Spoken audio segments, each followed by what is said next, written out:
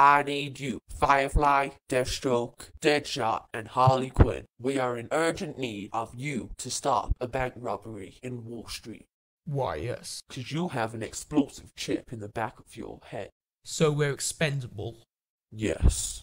We're only doing this to keep our heads. Don't get the idea that we like you or something. Keep a lookout for the bats or something while I go and grab the cash. Kenneth! Drome! I don't want to have to kill you, Captain. Deathstroke, I thought you were my side.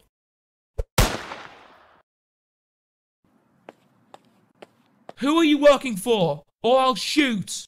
I'm working for Black Mask. He's in the second LexCorp warehouse. Don't shoot! Don't shoot!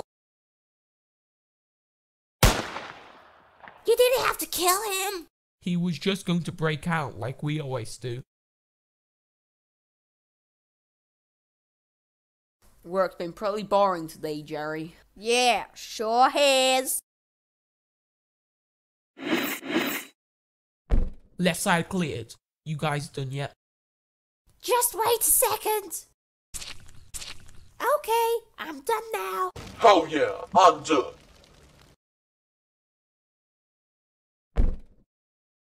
We're ready to go in. Let's go.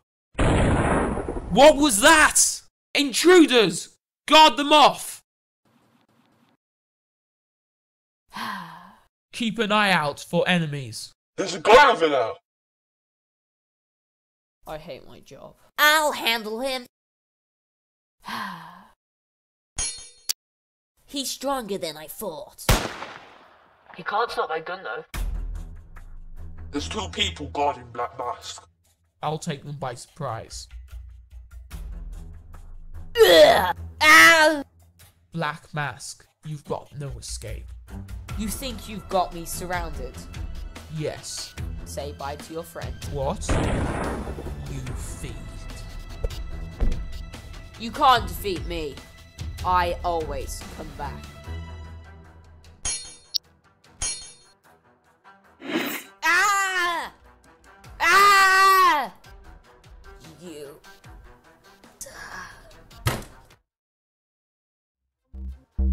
Ah! Ah!